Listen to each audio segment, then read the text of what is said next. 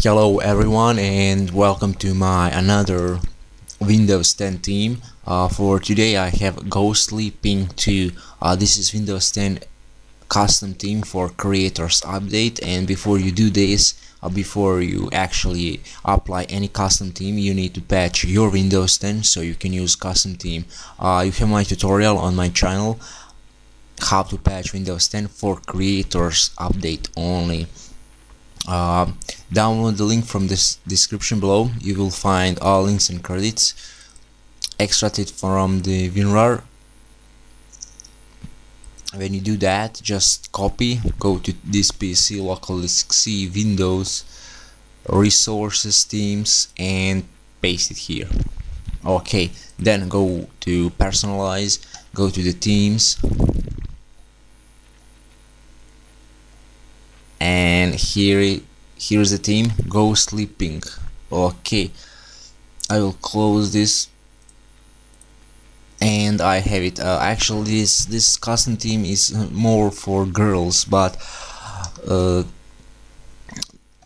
anyway I want to I just wanted to to do a video clip for this theme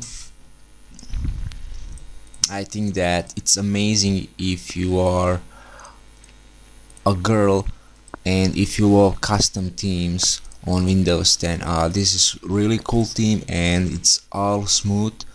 Uh, I will just set up the transparent look on my Windows. I will set the number 200 and if you're wondering uh, what I'm doing in this application uh, this is system transparency and it's gonna allow me to have a full glass effect on my computer. Okay now you can see how much I see my desktop background and it's really cool. A really powerful theme a really really it's nice done. Uh, it doesn't matter if this is a pink color I think that this is still great theme for anyone and that's that's how you can install this theme it's really easy but before you do this uh, you need to patch your Windows 10 don't forget that. And also like you see uh, there is a Windows logo and there is a theme creator down there gsw953 okay um, that was for me. That's how you can install this theme for Windows 10 creators. Update are really cool and nice. I hope you like it and thank you for watching. See you next time. Bye